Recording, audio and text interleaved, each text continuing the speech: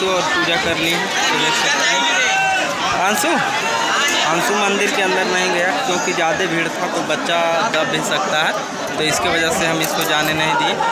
तो ठीक है, अब यहाँ से देखिए जो भी आता वो हम आपको दिखाते हैं।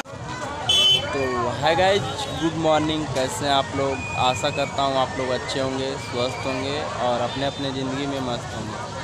तो आज का ब्लॉग काफ़ी शानदार, धमाकेदार और ज़बरदस्त होगा। तो मेरे वीडियो में अंत तक ज़रूर बने रहें, दोस्त। दोस्त, अभी टाइम हो गया है पाँच बजकर इकतालीस मिनट। तो देखिए, हम लोग नहा धो के रेडी हो गए हैं। रात कल ही आ गए थे हम लोग बड़ावर तो बराबर में बाबा मतलब बासुकीनाथ का मंदिर है। देखिए, पहाड़ का पूरा हम दृश्य दिखा रहे हैं। तो वहीं पे चलते हैं और यात्रा शुरू करते हैं हम, अंशु। और प्रियंका जी भी देखिए साथ में तो तीनों चलते हैं और सारा दोस्त सब जाएँगे। तो ठीक है, हम शुरू करते हैं यात्रा। तो ये देख सकते हैं दोस्त, काफ़ी भीड़ है और ये देखिए गाड़ी वगैरह सब लेके अपना अपना आए हैं। देखिए गाँव वाला कुछ, ये सब देखिए हमारे गाँव वाले हैं, सब ट्रैक्टर से आए हैं। और ये देखिए, हमारा बाइक है तो हम अपना बाइक से आए थे प्रियंका जी के साथ। और पूरा हम देखिए आपको दृश्य दिखाते हैं। देख सकते हैं कि कितना लोग हैं। तो काफ़ी यहाँ पे मेला लगा हुआ है। तो चलिए चलते हैं और ऊपर बाबा बासुकीनाथ के पास जाके और पूरा दृश्य हम आपको दिखाएँगे। ठीक है?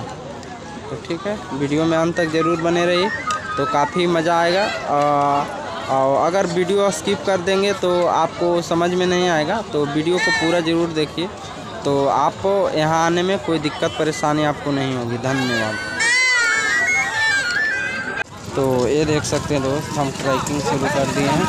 तो चलिए धीरे धीरे हम जहाँ से चढ़ते हैं सीढ़ी, वहाँ तक हम जाते हैं और उसके बाद हम आपको बताएँगे कि कैसे। तो ये देख सकते हैं, काफ़ी लोग जाके आ रहे हैं और काफ़ी लोग, हम लोग मतलब मम्मी हमारी पहले जा चुकी थी, हमको सामान देखना पड़ा। तो और सोचे कि वो सब रात में ही चली गई थी।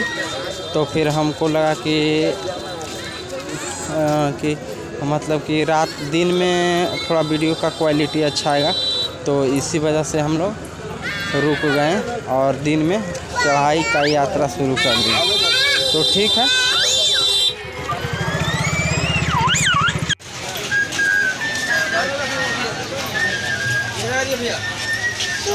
बकरी। बकरी। बकरी।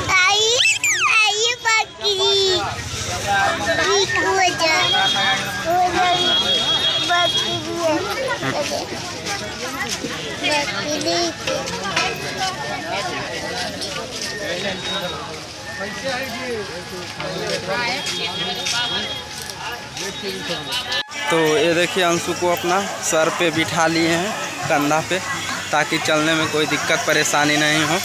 तो भीड़ ज़्यादा उतना नहीं है तो धीरे धीरे और ये देखिए। ये देखिए, प्रियंका जी भी साथ में है। तो चलिए चलते हैं। और ये देखिए, सामान सारा दुकान वगैरह है।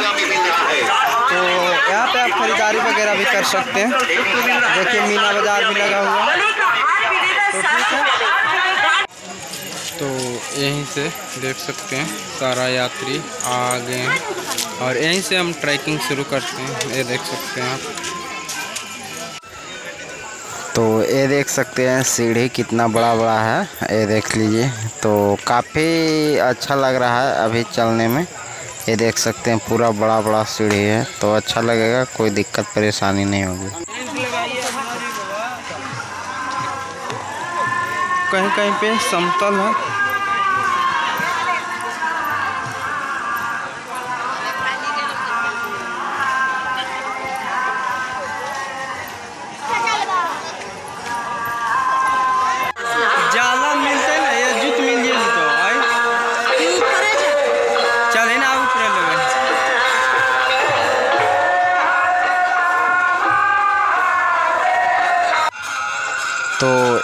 कहीं पे देखिए नींबू शिकंजी का जो रस होता है, वही देखिए पिला रहा है और सब यात्रियों का सेवा कर रहा है। और ये देख सकते हैं, यहाँ पे मतलब भंडारा जैसा है और यही देखिए भंडारा हो रहा है। देख सकते हैं पूरा गुणगान सब कर रहे हैं, अखंड कीर्तन जैसा होता है ना, वो वैसे ही। तो रास्ते में काफ़ी अच्छा अच्छा दृश्य देखने को मिलेगा। और ये देखिए, यात्रियों को बैठने के लिए ये देख सकते हैं, पुलिस सारा सुरक्षा है।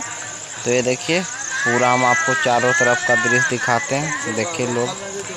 और यही देखिए गेट है, और यही गेट से हम प्रवेश करेंगे। तो यहाँ से मुख्य ट्रैकिंग शुरू होता है मतलब सीढ़ी। और ये देख सकते हैं, बहुत सा पब्लिक आ रहे हैं और जा रहे हैं।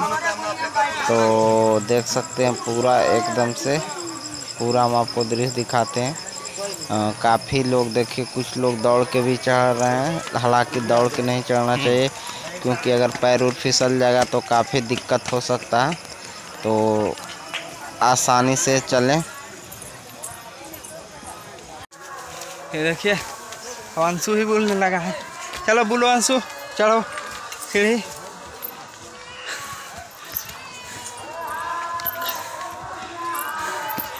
काफ़ी थकावट है ना, अंशु? थक गया, ओ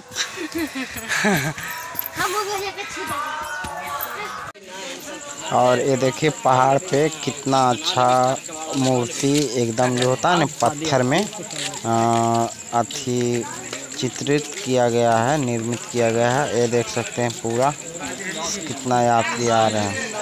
तो देखिए, वहाँ पे प्रियंका जी रुक गए हैं, हम थोड़ा पीछे हैं, इसके वजह से।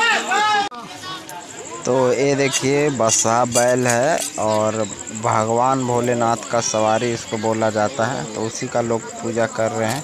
और इधर देखिए, जो भिक्षा मांगने वाले लोग होते हैं, देखिए पूरा पूरा यहाँ से मतलब मंदिर के पास देखिए, जो ट्रैकिंग होता है ना, मंदिर के पास पहुँचने वाला। तो उसके आगे से देखिए कितना ज़्यादा भीड़ है। और ये देख सकते हैं, काफ़ी भीड़ दिखाई दे रहा है। हालाँकि धीरे धीरे अब हम लोग मंदिर के पास पहुँच ही गए हैं। तो ठीक है मंदिर के पास पहुँचने के बाद जल लेंगे तो ये देख सकते हैं जल ले रहे हैं और 20 का भी देता है और 50 का भी देता है तो जो मन है वो आप ले सकते हैं। तो हम लोग जल लेके अब चलते हैं सीधे मंदिर में। ये देखिए मंदिर का सीढ़ी है तो धीरे धीरे देखिए चल चढ़ेंगे। हालाँकि जो पेड़ है उससे मंदिर दिखाई नहीं पड़ रहा है? तो चलिए मंदिर के पास जाते हैं। आगे की ओर प्रस्थान करें। प्रेम से बोलिए बाबा सिद्धेश्वर नाथ की जय। माता पार्वती की। जय। बाबा बजरंग बली की। जय। माता तो ये देख सकते हैं पूरा मंदिर का हम आपको दृश्य दिखाते हैं और काफ़ी भीड़ था। तो हम तो जल ढार दिए लेकिन प्रियंका जी थोड़ा लाइन में ही लगे हैं। और ये देख सकते हैं यहाँ पे आपको जल वगैरह फूल पत्ती जो भी है सारा चीज़ मिल जाएगा। ये देख सकते हैं कितना भीड़ लगा हुआ है। और ये देख सकते हैं आप, टीका चंदन जो भी है, आप करवा सकते हैं। मंदिर का दृश्य पूरा यही है, हम आपको दिखाते हैं। ये देख सकते हैं। यही है पूरा मंदिर का दृश्य देख सकते हैं। देख सकते हैं। अंदर तो ले जाने में भी नहीं बनेगा तो ठीक है।